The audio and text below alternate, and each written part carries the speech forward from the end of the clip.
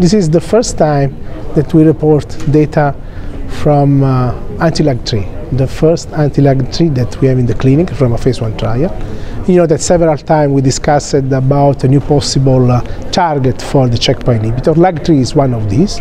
This is important uh, for the primary resistance as well as for uh, the secondary resistance. So LAG3 may be upregulated in both these cases and uh, may be responsible for resistance.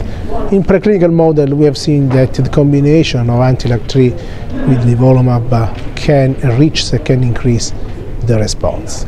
So in this phase one trial, we treated 202 patients in uh, all solid, tumor, uh, solid tumors, different cohorts.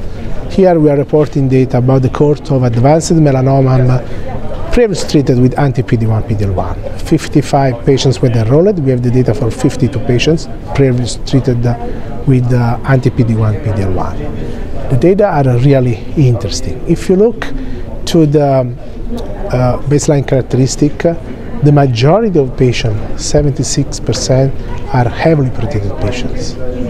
And uh, the 54% of these patients were also treated with anti-CTLA-4. So you know for this kind of patients several times, we have uh, no other option.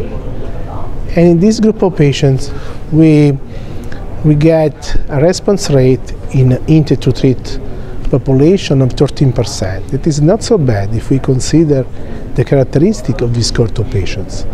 But the, the most interesting uh, uh, data, if you look the six patients where we had a partial response, three patients were in the group of patients who had a previous response to anti-PD-1, but two patients in the refractory. We had in this cohort of patients 40% of patients that had progression disease as the best response to previous treatment with anti-PD-1. So these are, you know, the refractory patients. And two of these responses are this kind of patient. This means that we can have also uh, an impact of this uh, combination in patients who failed previously immunotherapy. So this combination can also uh, restore the sensitivity to immunotherapy maybe.